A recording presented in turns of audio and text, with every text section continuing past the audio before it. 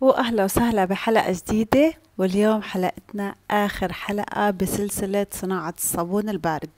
إن شاء الله يا رب تكونوا استفدتوا من كل الحلقات اللي فاتت واليوم رح نعمل آخر وصفة إذا حبيتوا تعددوا الزيوت زي ما حكينا. وهاي الزيوت الأساسية اللي تقريبا عند الكل شبه آه، ثابتة إذا حدا بحب يعمل مشاريع إنه لقدام أو إذا بحب يعمل الوصفة عشان هاي وصفة شبه ثابتة بكل صناعات الصابون واللي بحب يشيل ويحط أي زيت بقدر يحطه زي ما تعلمنا كمان على حاسبة الصابون.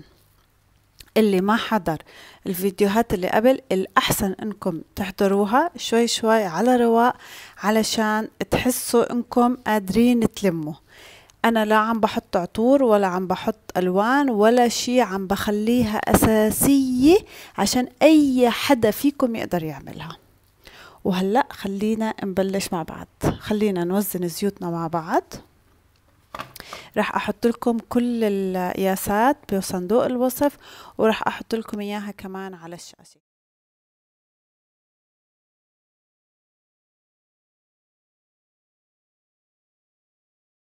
هون أنا دوبت الهيدروكسيد تبعي مع الماء المقطر بس طبعا زي ما أنتم شايفين وبتعرفوا إنه أنا بعمله برا فالأحسن إنكم تعملوه برا عشان الأبخرة اللي اتفقنا عليها.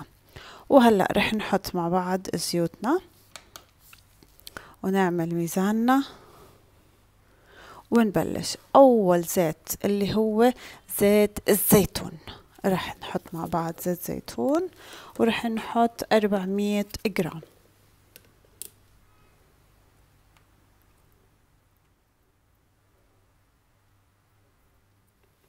وهي؟ وهي حطينا أربعمية جرام زيت زيتون.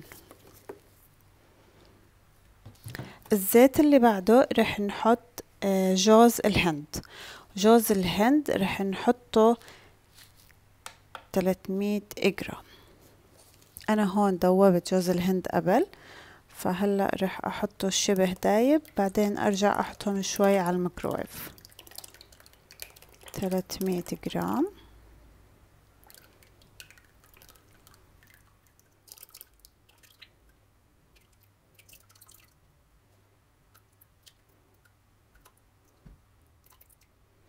وهي خلصنا الثلاثمية جرام وهلأ زيت النخيل راح نحط منه ميتين جرام. زيت النخيل رح يكون هيك شوي متجمد فأنا ذوبته شوي وهلأ رح أرجع أعيده. فرح نحط منه ميتين جرام.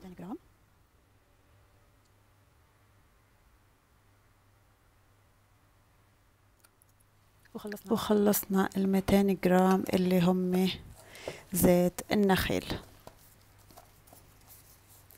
الزيت اللي بعده رح نحط زيت اللوز الحلو ورح نحط منه خمسين جرام.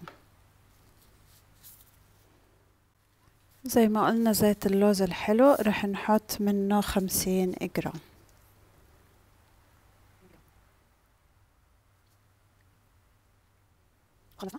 خلصنا الخمسين جرام. وهلأ آخر زيت واللي هو زيت الخروع. زي ما قلت لكم تقدروا تستخدموا أي أنواع زيوت انتو بتناسبكم وبتناسب ميزانياتكم. يعني أنا عندي هذا خروع وعندي هون كمان خروع أنا كنت جايبيته من برا فعلى حسب اللي انتو بتشوفوه مناسب بتحطوه وقتها معاكم.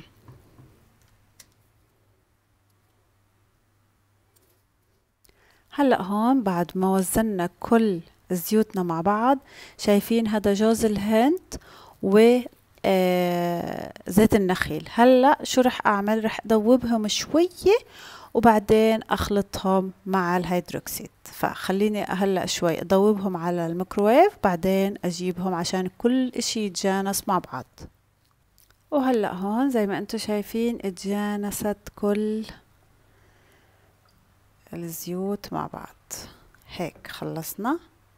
وهلأ وقت نخلط الهيدروكسيد مع الزيوت عشان التصبين رح نحط ال blender تبعنا زي ما تعودنا نخبط هيك عشان إذا في أي فقاعات تطلع.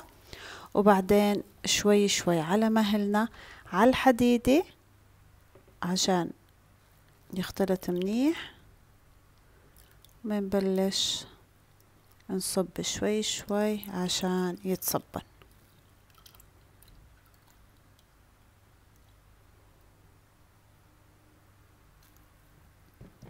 وهيك بنخلط شوي. شوفوا كيف عطول عطول ببين الأثر. كيف الألوان بتتغير زي ما أنتم شايفين. اندمجوا هيك. بس طبعا هلأ رح ندمجهم بال hand blender عشان كل شي يندمج مع بعض.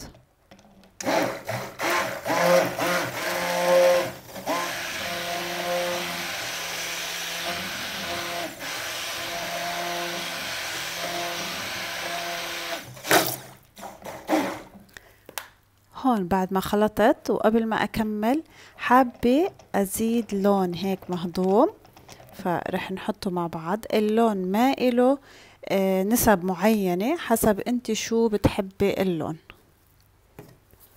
خليني أحطها. شوفوا كيف صار في أثر وبجنن قوامها. هاي الوصفة كتير كتير كتير بحبها. رح نحط هلأ مع بعض اللون.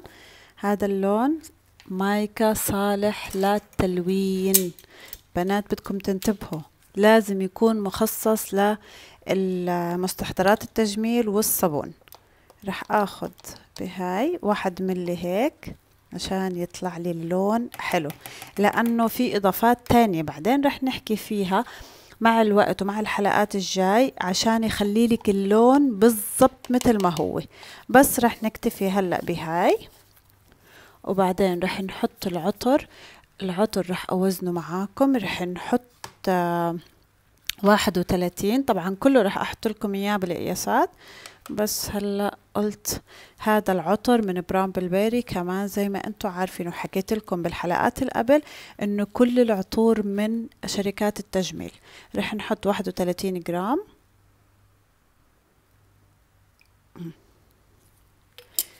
أربعين هو اللي إحنا عملناه بحاسبة الصابون آه رح يطلع واحد وثلاثين. بس ما بيأثر إذا شوي زدنا العطر. فرح أخلطه معاهم وأرجع أخلط منيح. يا الله ريحتها بتجنن واللون رح يطلع بياخد العقل. خليني أخلطها.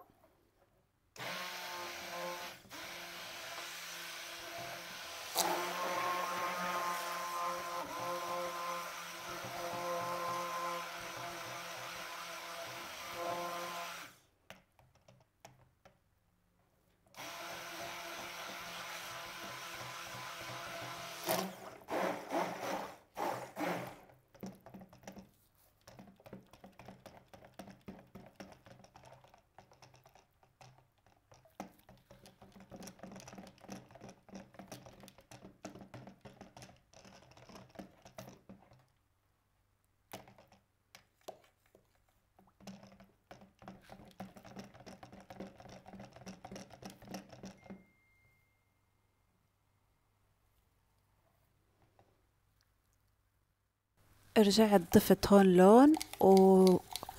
ودوبته بالزيت. حطيت شوية زيت لأنه ببعض الأحيان الصابون بيخدعك وما بيطلع اللون اللي بدكم إياه.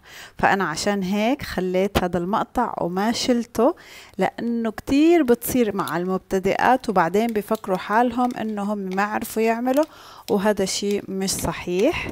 فهلأ رح نشوف كيف رح يصير اللون.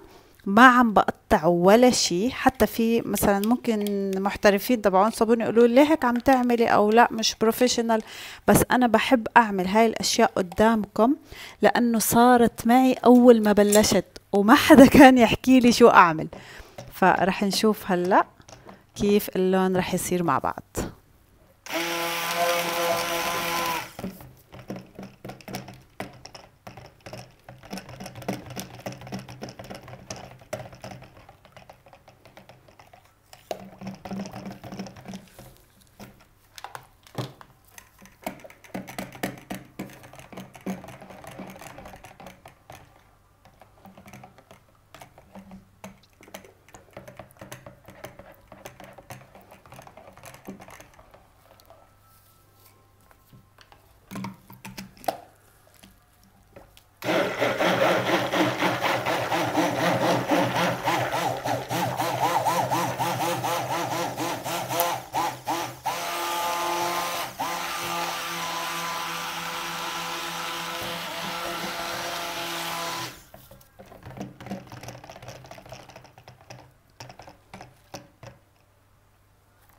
وهلا هون الخليط جمد معاي خلص. رح افرجيكم إنه ممكن تصير معاكم وعادي جدا. واللون كمان ما زبط كتير طلعوا كيف؟ ما ح... ما أعطاني البنفسجي اللي أنا فعلا حطيته. بس عادي المهم الصابوني صح والرسبي صح وكل شيء بيكون صح فما تهتموا ببعض الأحيان بتصير هاي الأشياء بالصابون ما بيعطي اللون الصحيح. فإحنا ممكن نضيف titanium oxide بعدين راح نشوف شو القصة. بس هلأ بدي إياكم إنكم لو صار معاكم وحبيتوا تحطوا ألوان وما زبطت الألوان زي ما بدكم بالضبط عادي جدا. اتفقنا؟ أنا ما قطعت هذا ال part بالذات عشان تكونوا فهمانين عن جد شو عم بصير لأنه هاي التركات هي اللي مهمة بتعليم الصابون مش بس إنه تحطي زيت وهيدروكسيد وخلاص. فزي ما شفتوا اللون ما طلع على المزبوط. هلأ قبل ما تجمد كتير رح نرجع نصبها بالقالب. طبعا القالب معقم وكل شي تمام. هذا القالب عندي كيلو تقريبا. رح ياخده شوي رح يضل فأنا جهزت قالب تاني. عشان يكون جاهز. رح أزيدها هون. وأزيد صابونتي هون كمان. وأشيل كل المتبقي قد ما فيه ممكن كان لازم جبت صبو... آه قالب أكبر بس لا هذا الكيلو اللي عندي وهدول خلص رح نحطهم هون لأنه أنا عاملة كيلو. فأخذت شوي هون وأخذت شوي هون ممكن بما إنه لسه الخليط ما نشف أحطها هيك.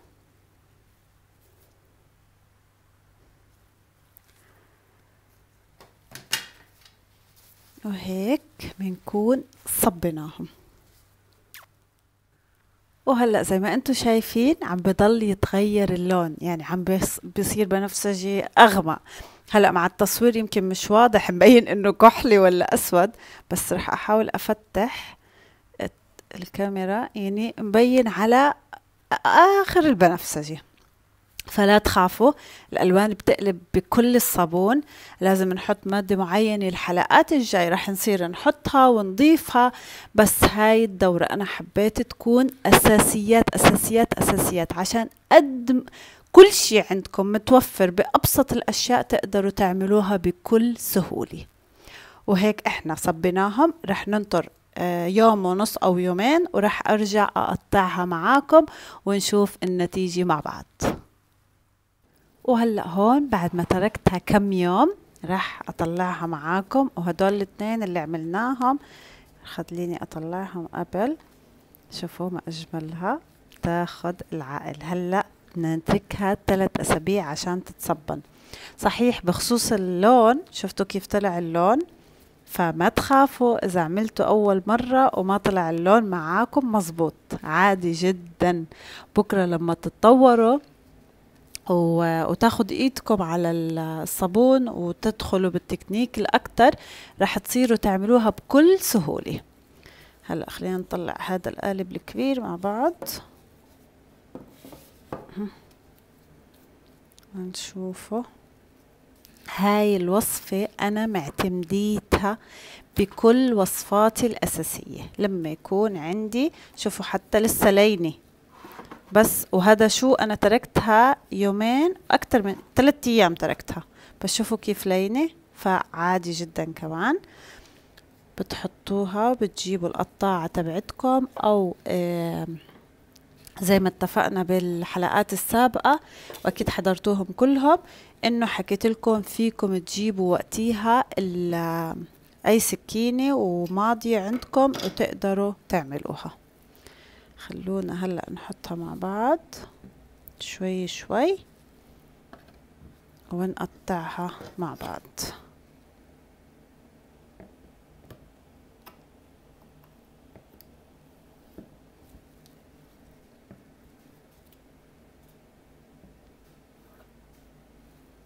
شوفوا ما أجملها. كتير حلوة كتير كتير كتير. وزي ما قلت لكم عادي إذا كانت لينة بعديها بكم وقت بس أول ما تحطوها راح تصير زي ما بدكم وبتاخد العقل.